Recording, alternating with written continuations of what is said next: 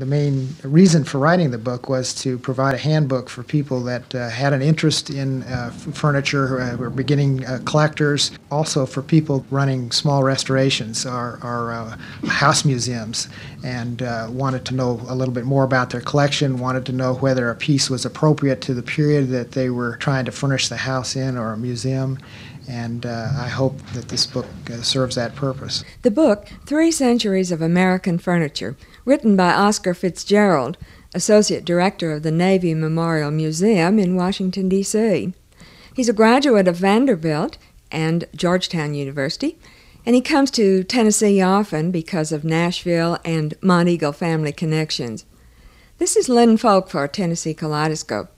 On one of Oscar Fitzgerald's visits to Monteagle, we talked about his book, especially all the illustrations in it. I had a contract to write the book, and the contract was for a year, and I did. I wrote the book in a year, and there was no problem.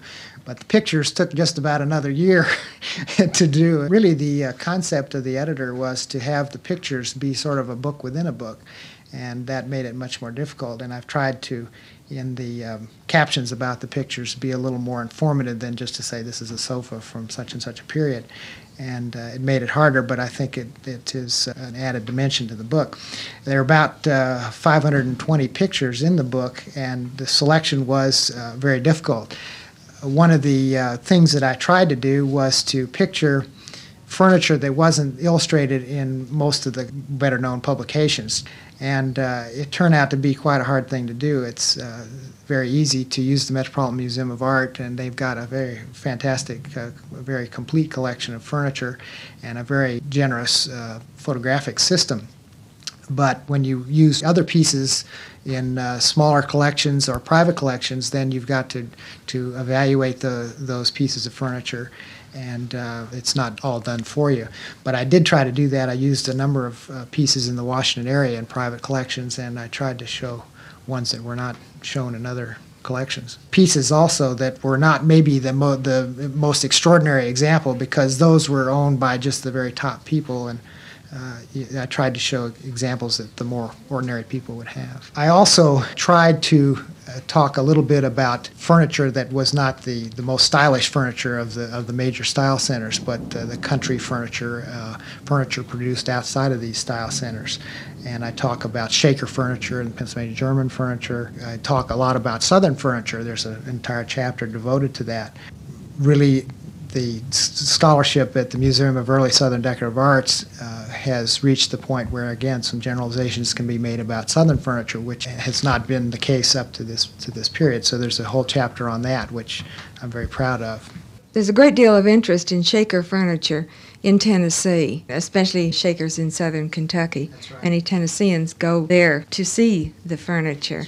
Did you go there to do been your there. Yes. I have. I spent a very, very nice uh, couple of two days there. Uh, not for this book. I actually I contacted them uh, for uh, trying to get some pictures of Shaker furniture, but they uh, didn't have uh, any available. Most of the uh, Shaker examples come from New England and some private collections in the Washington area. But there's a lot of interest in Shaker. Really, I, and I think it's kind of interesting. I think the reason for that is that uh, Shaker furniture today is more nearly like the modern aesthetic, of very simple lines, and we relate to that. And it's kind of interesting also that the Shakers were uh, working in a period where uh, this was uh, quite a, an unusual thing. The, the furniture was very elaborate, and in the contrast to the, to the simplicity of the Shakers being really ahead of their time in, the, in design, essentially. This book, Three Centuries of American Furniture, published in 1982 by Prentice Hall, covers the period from the 17th century, when the earliest American furniture was made, to the 20th century.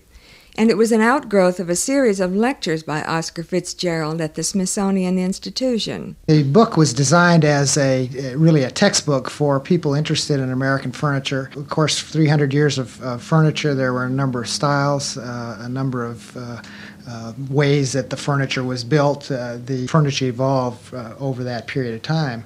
And what I tried to do in the book was to uh, make a little sense of, out of that. Oscar Fitzgerald, author of Three Centuries of American Furniture. This program, Tennessee Kaleidoscope, made possible by the National Endowment for the Arts, the Tennessee Arts Commission, and the Nashville chapter of the Tennessee Society of Certified Public Accountants. This is Lin Folk. A lot of things that, that you just can't even say in words can be expressed through an artistic medium. It, it, seems to resolve something, at least within me. So that is why I'm so interested in this type of, of job where I can go out and talk to people about the arts, get them enthusiastic. Uh, I hope that I can spread some of what I have gained on a personal level to other people. Barbara Arrowsmith, Executive Director of Tennesseans for the Arts. This is Lin Folk as Tennessee Kaleidoscope focuses on this recently formed and growing organization, which during the past year inaugurated events such as a reception for the members of the Tennessee General Assembly with arts and artists highlighted, issued a newsletter containing information about the state of the arts and what's being done, and is sponsoring statewide meetings of general concern to persons involved in the arts. Tennesseans for the Arts is the first attempt in Tennessee to unify all the people in the arts who are either arts organizations, individual artists, individuals who are interested in the arts, uh, support groups such as guilds, into one large body, mainly for networking purposes. We let our members know what is happening, we inform them, and we hope to get support then back so that they will talk to their legislators, so they will uh, question what is happening. The arts uh, typically are very laid back. People don't say much. Our big concern is the state funding. You know, there are 56 constituencies in the United States. This includes territories, Washington, D.C., and of those, Tennessee ranks number 55 in per capita spending, a little over 11 cents per person is being spent on the arts in Tennessee. And if you figure in New York, it's almost $2. And Alaska is the highest, which is over $10 per capita. I think the quality of art in Tennessee and the participation is high. Maybe not monetarily, mm-hmm. but there's a great deal of interest. There's a tremendous the interest and unbelievable artists here. I think that we, we've got just a, an incredible talent very, very fine, beautifully crafted folk type art, all the way through to very, very sophisticated avant garde type things. Same thing with the musicians, country music through the symphony orchestras, and they're all art. And I think that's one thing that people in the art world have got to realize that there isn't a single one of these areas that is not an art form, that they're all expressions of human feeling when we're talking about the arts, we're talking about all the arts. That's what's unique about this organization. It's the first attempt to pull together people from all the arts. We've got people uh, who are musicians, painters, sculptors, dancers, actors. Uh, then we've also got the people who teach these people. We've got the people who are the support groups of these people. So it's really exciting to see a network building of people who are really involved in the arts. Has any attempt been made to involve people that are not necessarily interested in the arts? Have you seen the poster, the "Be a Fan of the Arts"? Oh yes, poster? Uh-huh. Was, um, it was designed and produced to be used, you know, by Tennesseans for the Arts, and then the whole concept to be a fan of the arts was used for the arts conference back in November. It even has been in one national magazine. It was in Decorating and Craft Ideas for the January '84 issue. So we're getting requests for our poster nationwide. We've gotten them from California, the state of Washington, a lot from Texas, and one request from uh, Connecticut. And the fellow signed it. He says, I'm a Connecticut Yankee for the arts. Oh, how nice. so we've gotten just a tremendous response. So we have gotten a lot of people who may not necessarily have wanted to join Tennesseans for the Arts because it was Tennesseans for the Arts, but when they saw that we had something that really promoted us in a unique fashion, then they joined. Barbara Arrowsmith, Executive Director of Tennesseans for the Arts. For information about membership, write to Tennesseans for the Arts, Box 2756, Nashville 37219. This program made possible with the joint support of the National Endowment for the Arts and the Tennessee Arts Commission. This is Lin Folk.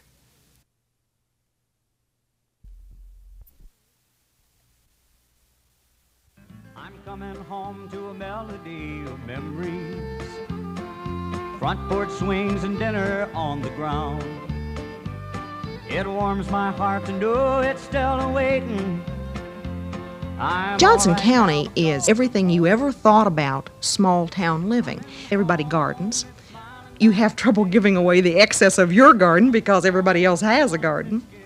People visit, people walk, people sit on their front porch and swing. It's uh, your typical small town, southern small town. Get ready, Tennessee, I'm coming home.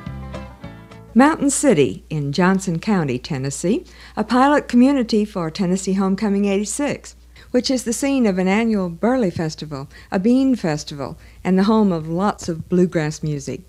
This is Lin Folk for Tennessee Kaleidoscope with Judy Maguire of the Mountain City Chamber of Commerce, who is Homecoming Steering Committee Chairman for this town, which is located on the eastern border of the state. We're about as far east as you're going to find. We are in the corner of the state. We have access to North Carolina and Virginia and all the goodies that you can, you know, can find from those states. What is the population of Mountain City, approximately? Uh, the city is 2,100. The county is uh, 13 plus thousand. Uh, small, very small. So I imagine when you have the Burley Festival or any kind of a community affair like that, practically everyone turns out for it. Absolutely. Tell me about some of the arts activities that you have here. You have a museum or an art gallery or any kinds of arts uh, shows by local artists? Not uh, formal art shows by any means. What we do have is an extremely active historic society. Our county historic society is uh, very, very active. They have a world of artifacts, oh, some old furniture, uh, records, deeds, that sort of thing. Music, of course, this is bluegrass, a lot of primitive bluegrass here. We have um, some excellent musicians that play here. Some of them have even gone to New York and performed Radio City Music Hall. Their names. Oh, t- uh, Clint Howard and Fred Price.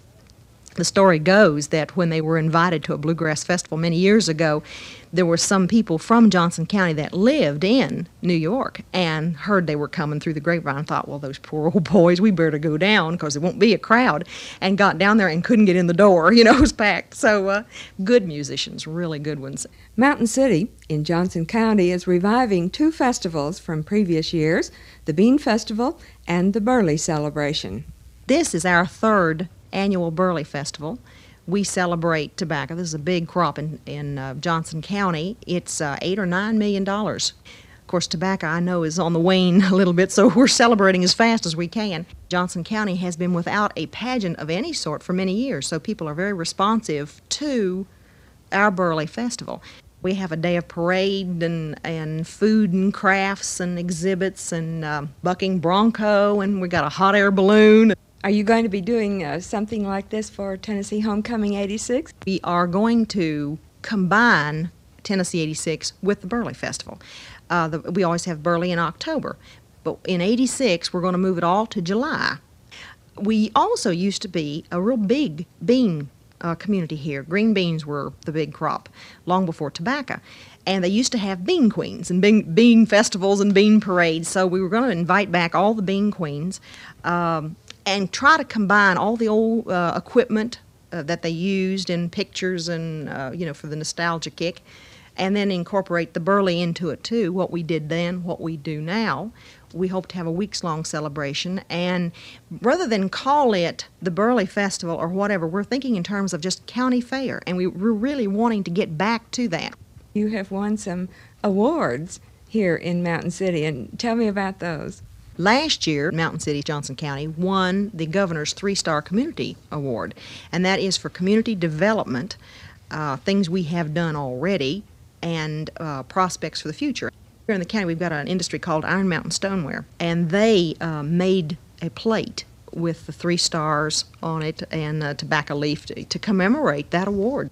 Judy Maguire in Mountain City, Tennessee, chairman of the Johnson County Steering Committee for Homecoming 86. This program, Tennessee Kaleidoscope, made possible with the joint support of the National Endowment for the Arts, the Tennessee Arts Commission, and the Nashville chapter of the Tennessee Society of Certified Public Accountants.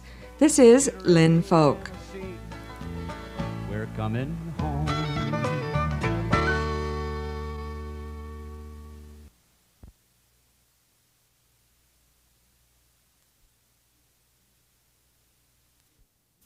I remember years and years ago, it was as though we were a wasteland, but the talent was there and it very often left, very often left to go to the East. New Orleans painter and sculptor Ida Kohlmeyer, whose retrospective show has been seen in Tennessee and is touring in other parts of the country. There's also an illustrated article about her and her work in a 1985 issue of Southern Accents magazine.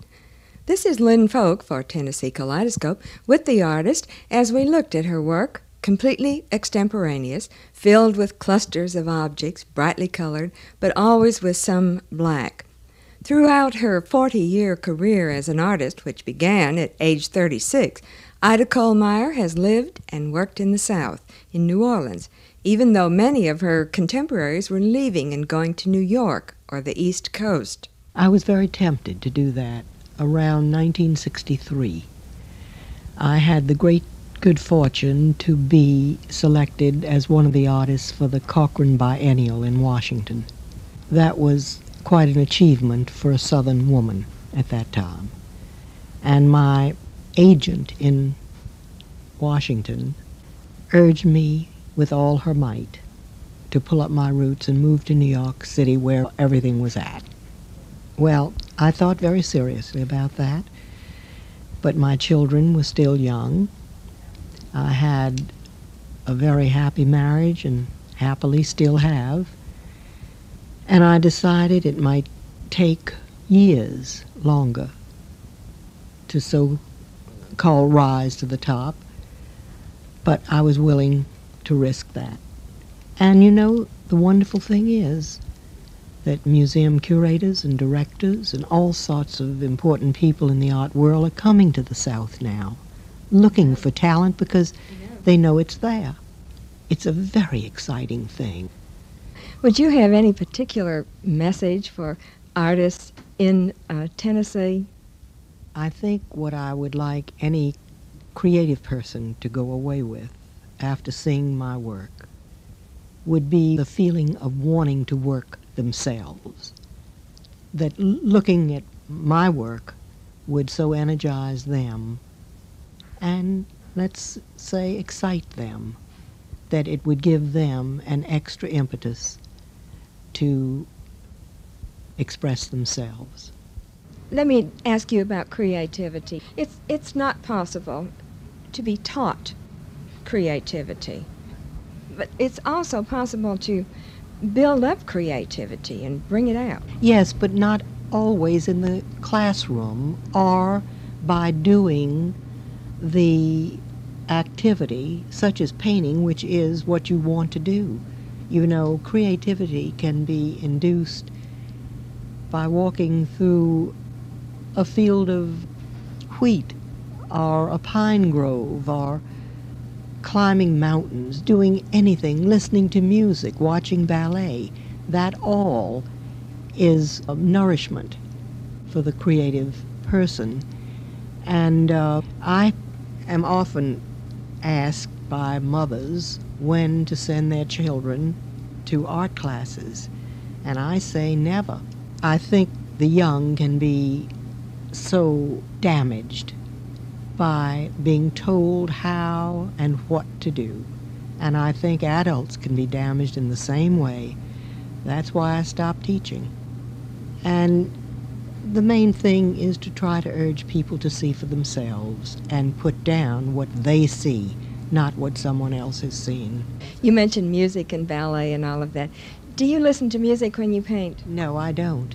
The only thing I listen to is my dog barking sometime. no, I love music so much. I like to be in, really involved in it, and it does distract me when I'm working. Ida Kohlmeyer, whose work may be seen in public, private, and corporate collections throughout the United States. Her retrospective show, organized by the Mint Museum in Charlotte, North Carolina, will travel through 1985 to Oklahoma, Alabama, Indiana, Louisiana, Texas, and North Carolina. This program made possible with the joint support of the National Endowment for the Arts and the Tennessee Arts Commission. This is Lin Folk.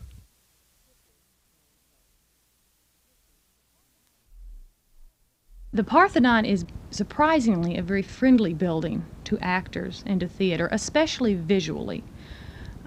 designing for the Parthenon sets is very different from designing for a stage, of course, because you're more decorating the building or creating a, a mood on the side of an existing structure. Once you get actors out there in the ancient Greek costumes with these huge set pieces that are built in scale to look correct with the Parthenon, visually it's wonderful. The perfect place for Greek theater, Nashville's Parthenon in Centennial Park where the Theater Parthenos plays have been presented Oedipus the King in 1983, Medea in 1984, and there are plans for annual celebrations in Nashville with dramas such as these. This is Lin Folk for Tennessee Kaleidoscope with Theater Parthenos director Theresa Choate, a Tennessean now teaching at Rockmont College in Denver, Colorado, who's been coming back to Tennessee each summer for these productions. Having studied uh, drama first in Nashville, then in Washington and London, and acting in many stage productions, Theresa Choate decided that theater directing was her special interest. I have trained as a director, and I have a special love for the classics. Uh, I enjoy directing Shakespeare, and I enjoy the Greek tragedies and comedies as well. How I came to Greek theater was really just having always had a love of the Parthenon here in Nashville and realizing one day that it would be an excellent place to produce the Greek plays because they aren't produced that much. And they are as exciting as any play that's ever been written. Some people compare them to soap operas. Their plots are so elaborate and so many really unbelievable things go on in these plays that I wanted to let the general public have a chance to really see what an incredible experience Greek theater can be The park system is dedicated to continuing this project and over a gradual expansion to turn this into a major theatrical festival that hopefully will someday be known nationally. The Parthenon is so unique in itself, and uh, having Greek theater here that's the next best thing to having it in Greece, I would think. In, in Greece and in Athens, they do produce the Greek tragedies in and about the Acropolis and in the ancient amphitheaters. And while I remember coming up with this idea about six years ago, my mother swears that 15 years ago, when we were in Athens at the Acropolis, I said, somebody ought to do this in Nashville. now, she says I said that. I don't remember it. So perhaps that's true, that it's been resting in the back of my brain for that long. You had this idea when you were here in Nashville, and then you left Nashville. And uh, how did you work your way back? Well, I did leave Nashville about I guess, nine years ago now to train in theater. And at the time I left, I had just finished working with the Metropolitan Park System. And they were so enthusiastic about the arts, which is so unusual for a city park system to support the arts as much as the park system does here.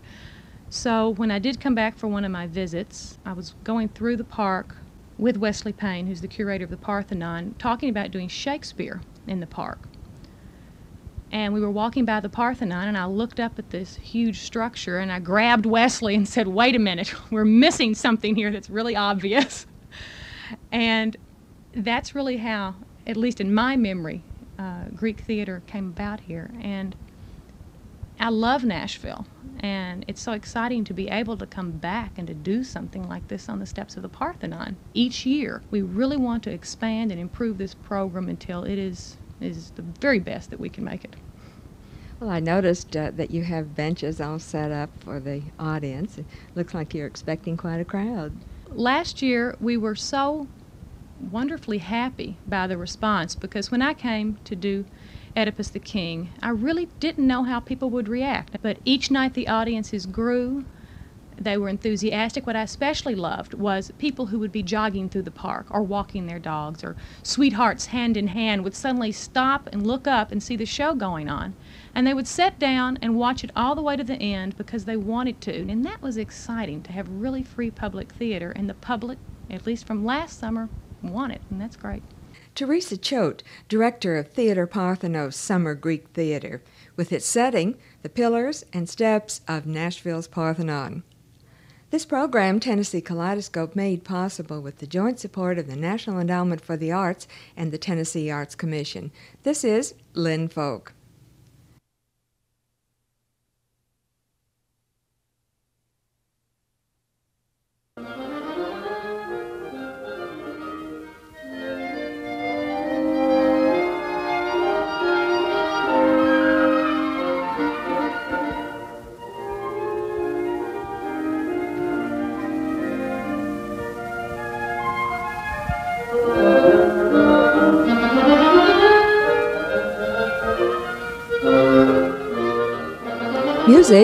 Cumberland Quintet from Cookeville, Tennessee, in a showcase performance at the 1983 Tennessee Arts Conference in Nashville.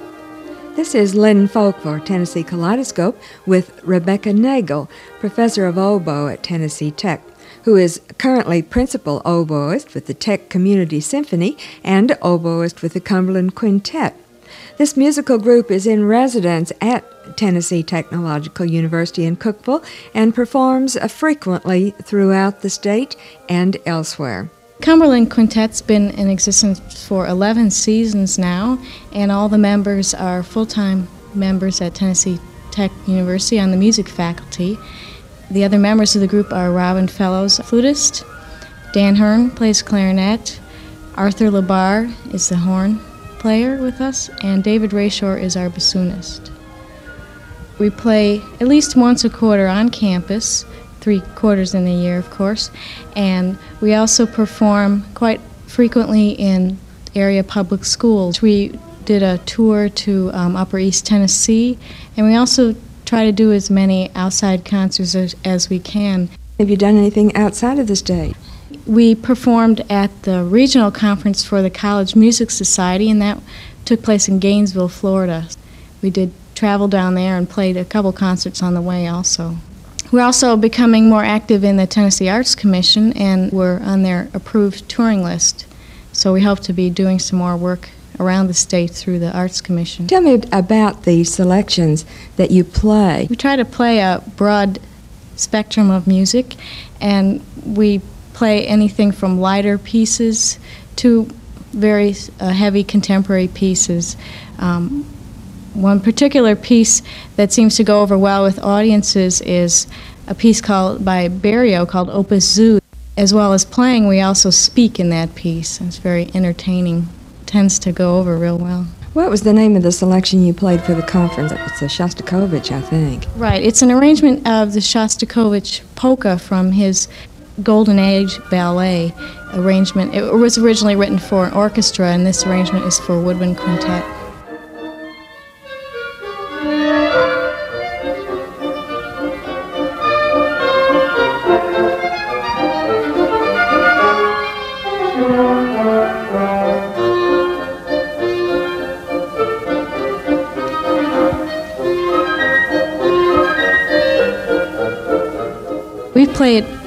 Quite often, and um, it, it, gets a good response. It's very lively and, and moves along. We were talking earlier about the members of your quintet. What was it you said you played with, and then tell me what some of the other people, uh, what musical organizations they play with. We all play in the Tech Community Symphony, which is a local symphony which puts on three, four concerts a year and we all are members of that, principal players in that. And then all of us do quite a bit of extra playing. I and myself and our clarinetist Dan Hearn and the horn player Arthur Labar and also our bassoon player David Rayshore. We've all played in the Nashville Symphony, substituting now and then, and our flutist plays second flute in the Knoxville Symphony on a regular basis. So we all try to stay as active as we can. Together, we all hold degrees from some very fine music schools, among them uh, Indiana University, um, the Cleveland Institute of Music, the Yale University School of Music, and North Texas State University. And which one of those applies to you? I got a master's degree at Yale University School of Music there. Rebecca Nagel, oboist with the Cumberland Quintet, based at Tennessee Tech in Cookeville. This program made possible with the joint support of the National Endowment for the Arts and the Tennessee Arts Commission. This is Lin Folk.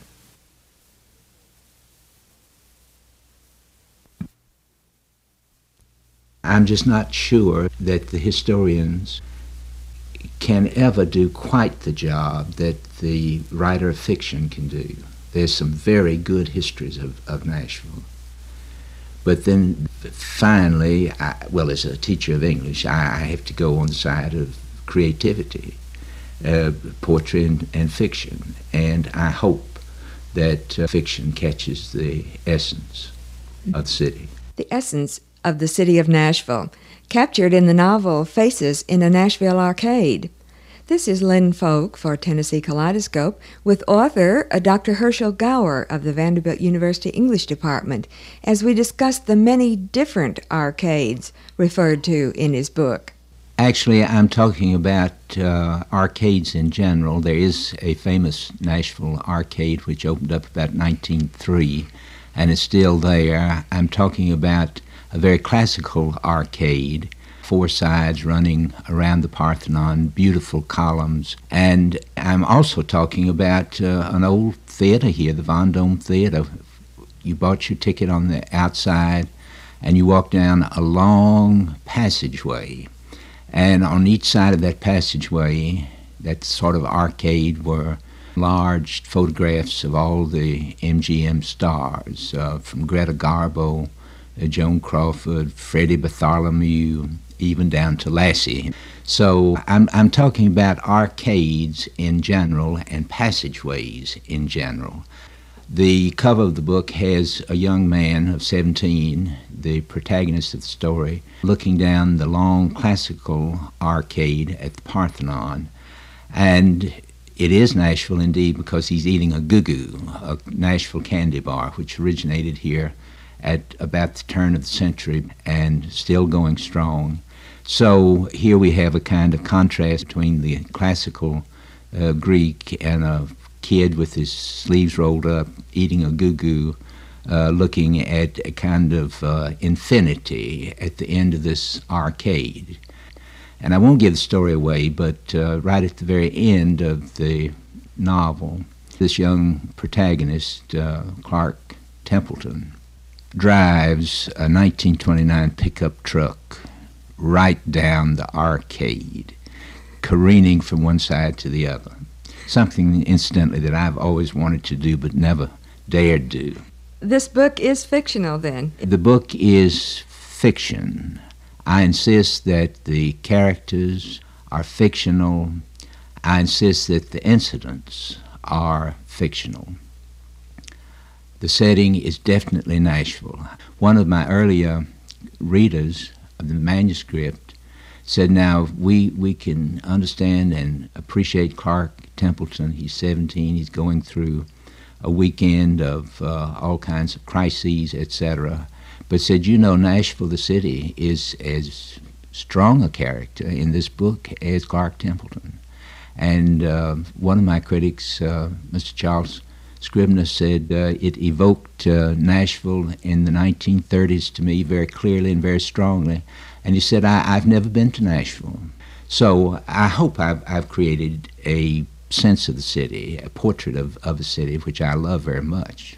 I would assume that this book is filled with a lot of things that maybe you would have liked to have done, and maybe some that you actually did. You've hit a, a very strong point there. Um, people write for all sorts of reasons, and the protagonist, Clark Templeton, has got a name that I like.